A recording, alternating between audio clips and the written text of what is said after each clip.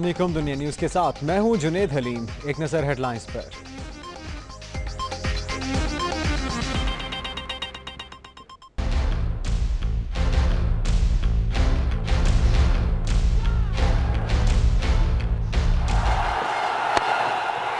शाहीनों की दूसरे टी में भी ऊँची उड़ान। सनसनी खेज मुकाबले के बाद ऑस्ट्रेलिया को सुपर ओवर में शिकस्त।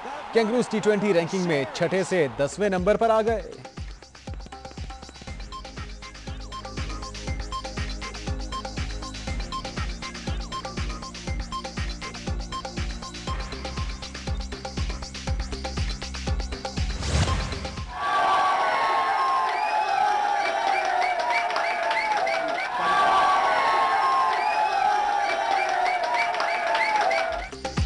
टी ट्वेंटी सीरीज़ में कैंगरूज को मात देने पर शायकीन क्रिकेट ने हार।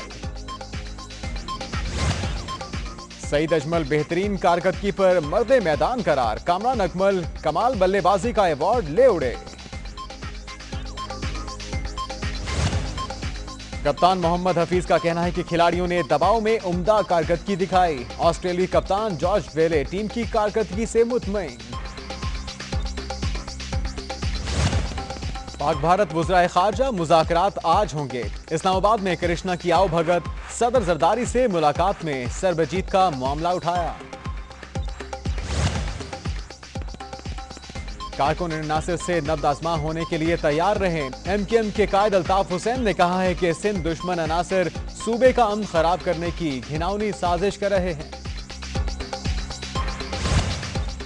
कराची में अगवा बरए तावान की वारदातों में इजाफा। दो हफ़्ते में पाँच कारोबारी अफराद अगवा बल्दियाती ऑर्डिनेंस पर सिंध हुकूमत से चार इतिहादी अलग। वज़ीर आला मनाने में नाकाम। कौम परस जमातों की तेरह सितंबर को पैया जाम की कॉल। सरगोदा में डॉक्टर्स का कारनामा। ऑपरेशन के दौरान मरीजा के पेट में तौलिया भूल गए। खातून की हालत तशवीशनाक। मुल्क के अक्सर इलाकों में मानसून बादल छा गए। इस्लामाबाद, सरगोदा मालाकंड और हजारा डिवीज़न में आज मजीद बारिशों की पेशगोई। और बेलारूस की विक्टोरिया सबक रूसी चैंपियन मारिया शरापोवा को हराकर यूएस ओपन के फाइनल में पहुँच गए।